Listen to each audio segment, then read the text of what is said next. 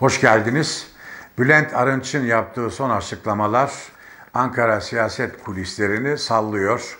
Hatırlayalım Bülent Arınç ne demişti?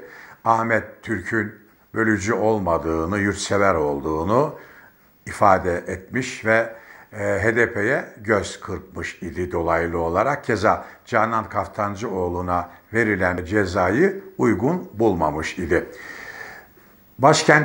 Başkentteki sorgulama Bülent Arınç'ın yaptığı bu açıklamanın şahsi ya da kurumsal olup olmadığı yani saray veya Tayyip Erdoğan'ın onayı bilgisi dahilinde mi değil mi sorusudur. İfadeler, değerlendirmeler şu yönde. Bülent Arınç malum Cumhurbaşkanlığı Yüksek İstişare Kurulu üyesi.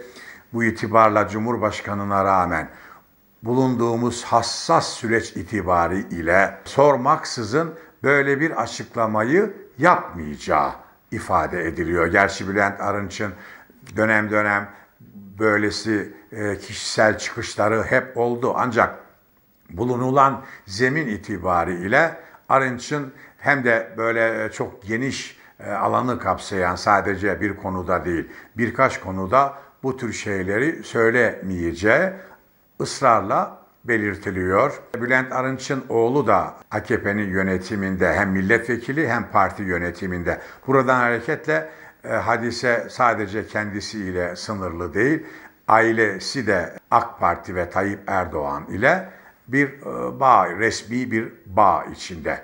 Bu da e, belirtiliyor. Bu itibarla demin de ifade ettiğim gibi Arınç'ın bu çıkışı e, tam tersine sarayın ve e, Erdoğan'ın e, bilgisi dahilinde olduğu kaydediliyor. Diyeceksiniz ki madem öyle AKP Grup Başkan Vekili Bülent Turan neden çıktı Bülent Arınç'ı hedef aldı, eleştirdi ya da İbrahim Kalın hükümet sözcüsü neden Bülent Arınç'ın şahsi görüşleridir dedi. Bunu da normal karşılamak lazım. İç kamu oyunu dengeleme adına ayrıca Devlet Bahçeli ve MHP'yi dengeleme adına değerlendirmek lazım diyenler var. Birinci husus Bülent Turan'ın haddi değil Tayyip Erdoğan'a sormadan böyle bir açıklamayı yapmaz. Bunun altını çizelim. Grup Başkan Vekili genç bir arkadaş saraydan yeşil ışık almadan Bülent Arınç'ı çünkü Bülent Arınç ifade ettim. Yüksek İstişare Kurul üyesi sıradan biri değil. Aynı şekilde İbrahim Kalın'ın e, o Bülent Bey'in şahsi görüşüdür demesi yine iç kamuoyunu e, idare etme, manipüle etme adına diyenler var. Bunların altını çizelim. Peki Tayyip Erdoğan bunu neden yapıyor olabilir sorusu elbette akla gelebilir. Birinci husus Tayyip Erdoğan gerçekten tıkandı, e, çıkış yolu yok. Tamamen günübirlik e, politikalarla durumu idare ediyor. Her videomda neredeyse e, söylüyorum. Tayyip Erdoğan'ın tek bir gündemi ve amacı var. İktidarını sürdürmek. Bunun için o gün hangi e, politika geçerli ise onu uyguluyor. Tutarlılık gibi, e, başka şeyler gibi bir derdi ve amacı yok.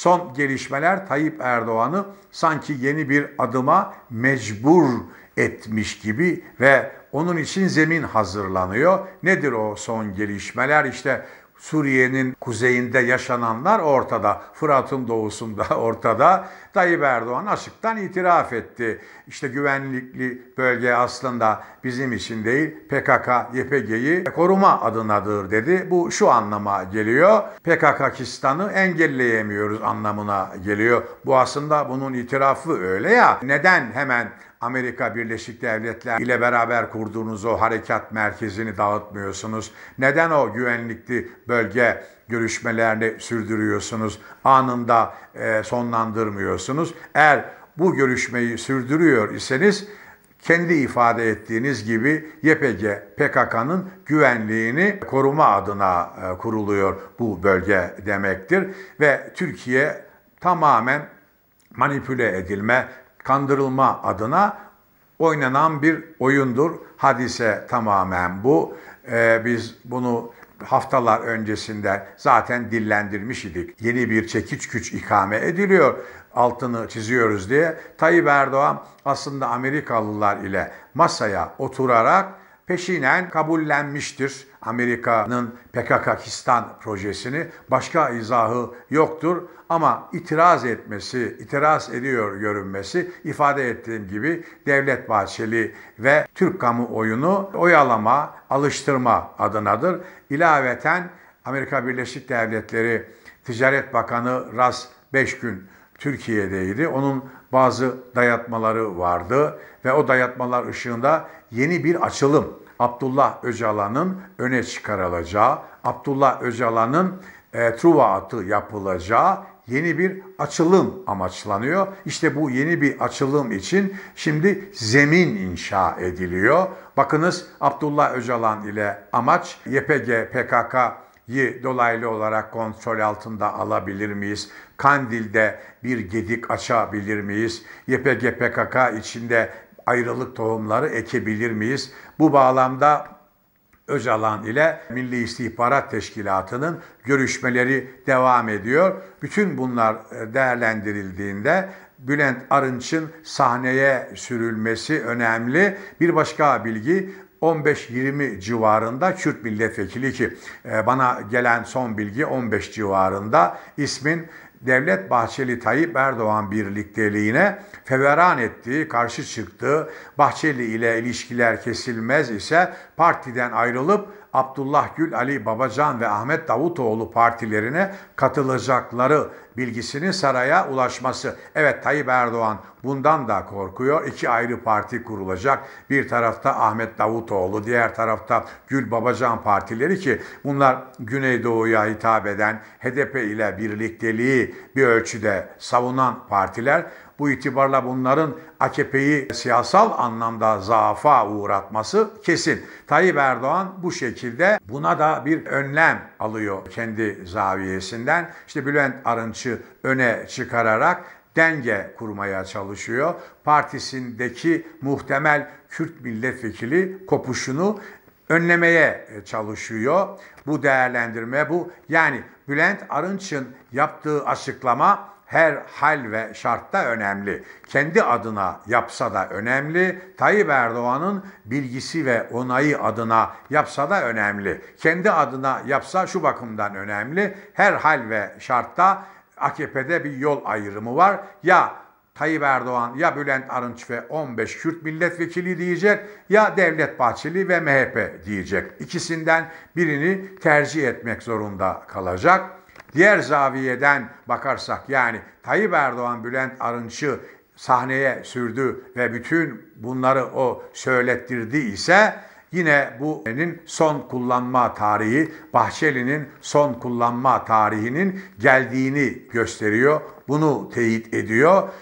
Ama bunu birden yapmıyor vefasızlık denilmesin diye işte Bülent Arınç gibiler sahaya sürülerek toplum alıştırılmaya çalışılıyor. Bakın sürpriz bir şey daha oldu.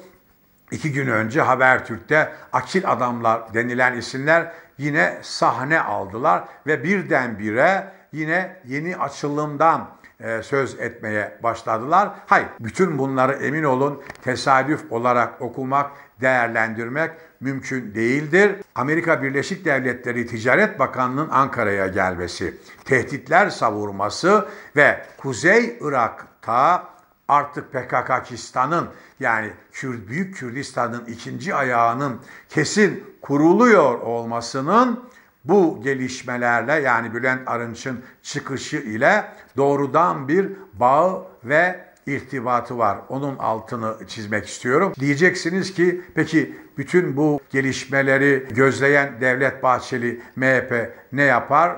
Şunu söyleyeyim. Devlet Bahçeli'nin tek bir derdi ve gündemi var kendi koltuğunu korumak. Devlet Bahçeli iddia edildiği gibi kendini Tayyip Erdoğan'a mecbur görmüyor ise normal şartlarda kırmızı çizgim dediği işte bu PKK Kistan olayından ötürü ayrılması lazım. Tayyip Erdoğan'dan desteğini çekmesi lazım. Çeker mi? Çok emin değilim. İfade ettiğim gibi Devlet Bahçeli'nin Tayyip Erdoğan'a niye destek verdiği hala meçhul öyle ya. Bu Devlet Bahçeli değil miydi birkaç sene önce?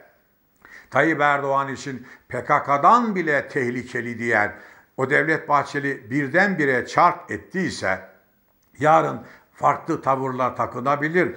Keza aynı şekilde Abdullah Öcalan ile yapılan mektuplaşma olayında, avukat gönderilmesi olayında Devlet Bahçeli yeşil ışık yaktı.